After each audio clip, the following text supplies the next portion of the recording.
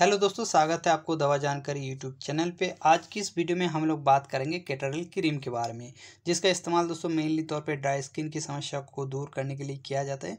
तो वीडियो में जानेंगे इसके बारे में और भी डिटेल्स में और कौन से कंडीशन में इसको यूज़ किया जाता है बेनिफिट के बारे में चर्चा करेंगे, कैसे अप्लाई करना होता है साइड इफ़ेक्ट के बारे में चर्चा करेंगे।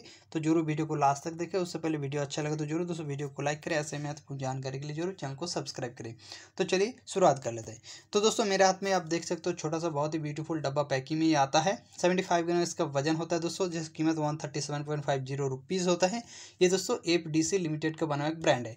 इसमें कॉम्पोजिशन है दोस्तों, इसमें यूरिया का इस्तेमाल है I P twelve percent lactic acid है दोस्तों सिक्स परसेंट ग्लिसरीन है three percent aluminium chloride five zero point five percent sodium chloride zero point five percent potassium chloride zero point five percent calcium lactate zero point five percent magnesium chloride zero point three percent इनके अलावा दोस्तों sodium dihydrogen phosphate dihydrate I P zero point five percent composition इस cream के अंदर इस्तेमाल हुआ है। इसका इस्तेमाल दोस्तों ड्राई स्किन की सूखी त्वचा की जिस आपको समस्या होता है, उस कंडीशन में डॉक्टर इस क्रीम को आपको लेने को सलाह देता है।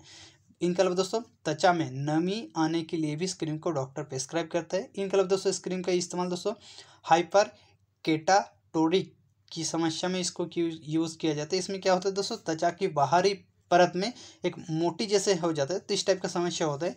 उसकी ट्रीटमेंट में इसको लेने को सलाह देता है। एक्जिमा में दोस्तों इस क्रीम को यूज़ किया जाता है।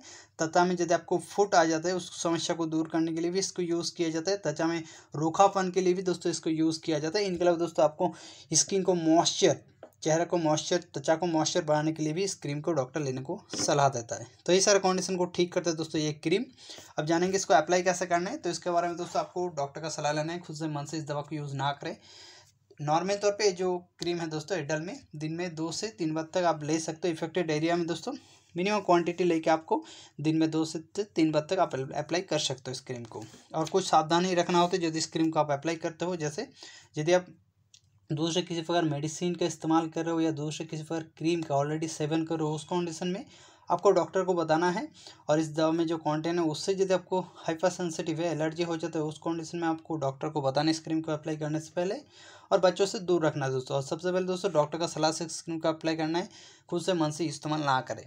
अब जानेंगे साइड इफ़ेक्ट के बारे में तो बहुत ही कम, बहुत ही मिनिमम साइड इफ़ेक्ट दोस्तों, बहुत ही कम मतलब ना के बराबर साइड इफ़ेक्ट होता है। यदि आपको सूट नहीं होता तो चाहे उस कंडीशन में स्किन के ऊपर आपको जलन हो सकता है, खुजली हो सकता है हेडेक जैसे कुछ कुछ साइड इफ़ेक्ट हो सकता है।